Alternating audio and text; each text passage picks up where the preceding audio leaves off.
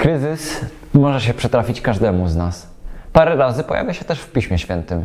Chociażby kiedy Jezus poci się krwią, kiedy na przykład Hiob, cała historia jego w ogóle to ja bym określił jako jeden wielki kryzys dla człowieka, ale też na przykład możemy to zobaczyć w fragmencie przytoczonym wcześniej przez księży w protoewangelii. Po grzechu pierwszych ludzi pojawia się właśnie kryzys. I o tym kryzysie właśnie będę mówił.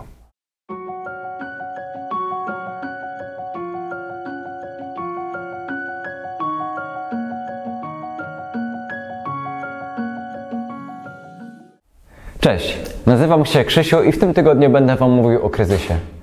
Myślę, że każdemu z nas jedną z pierwszych rzeczy, która przychodzi na myśl myśląc o kryzysie jest COVID, bo ten okres był naprawdę bardzo trudny dla wielu z nas i oprócz tego kryzys gospodarczy to wszystko to wiemy co się dzieje, nie? No ale teraz się skupimy bardziej na tym aspekcie personalnym, bo ja jak bardzo wiele ludzi przeżyłem to w bardzo dziwny sposób. Byłem sobie takim normalnym chłopakiem, nie? który chodzi do drugiej klasy liceum i wtedy nagle miała być dwutygodniowa przerwa, kwarantanna, no to wiadomo, hip, hip, hura. Ale kiedy to się zaczęło przeradzać w miesiąc, dwa miesiące, nie wiadomo kiedy to się w ogóle skończy, to w tym momencie no, zaczęły się dziać dziwne rzeczy, nie? Relacje zaczęły się psuć ze wszystkimi, z przyjaciółmi, z dziewczyną, po prostu zaczęła się powoli wszystko rozpadać. Stwierdziłem, że no muszę to jakoś ratować, próbowałem ale nie za bardzo mi wychodziło. I wtedy miałem takie, że no co jest, nie? Coś jest ze mną nie tak, coś jest nie tak ze światem, czy co, o co chodzi po prostu? No, bo staram się jak mogę, a nic nie wychodzi.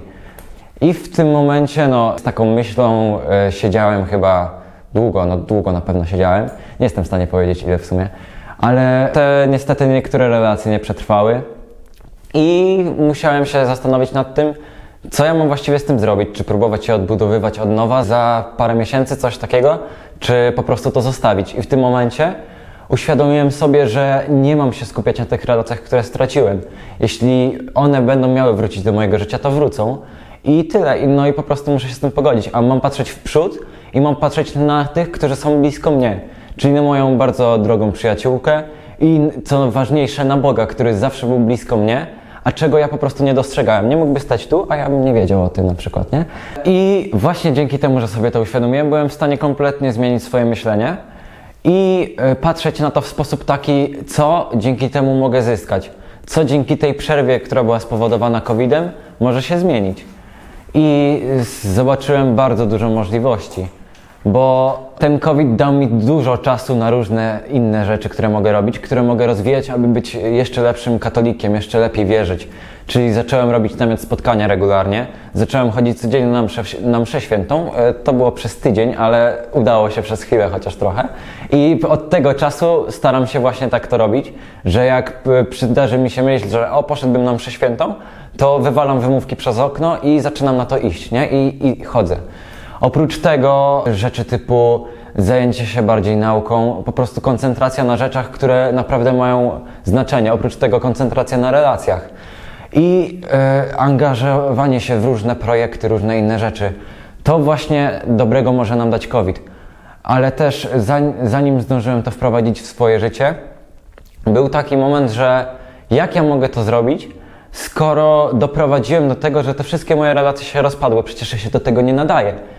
I tutaj uświadomiłem sobie, że właśnie ten fragment, który przytoczyli księża na początku tego tygodnia, ta protoewangelia mówi o tym, że my popełniamy jakieś grzechy, jakieś winy i przez to właśnie ci pierwsi nasi rodzice zostali wygnani z raju, przez to to wszystkie złe rzeczy się dzieją, ale my mamy odkupiciela, który zszedł na świat, który właśnie został wtedy zapowiedziany w tej protoewangelii który odkupił nam grzechy i mamy bardzo łatwą drogę do tego, żeby się tych grzechów pozbyć i żeby stać się nowym człowiekiem.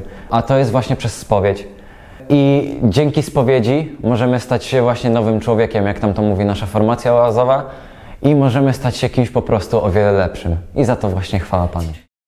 I. Kosia, przestań tańczyć. Proszę Państwa, to światłość świata! Co za gad? Co za brat w świetle! Co to za... Co ty mnie robisz?